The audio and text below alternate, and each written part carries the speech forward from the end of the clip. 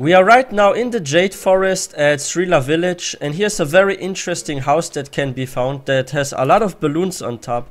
And this one right here is a reference to the Pixar movie Up. And this house in the movie Up could actually fly. So I'm wondering if this house can fly as well. And at the bottom here are some very very interesting NPCs. This one right here, Rusty Nail, is a reference to the Boy Scout of Up called uh, Russell. And this fox right there that goes by the name Dick is a reference to the dog that's called Duck in the movie. And inside that house is a Pandaren called Car and here's a reference to Car of the movie. So yeah, I hope you guys enjoyed this easter egg. We are looking for more easter eggs in WoW, so please don't forget hit that subscribe button for more content.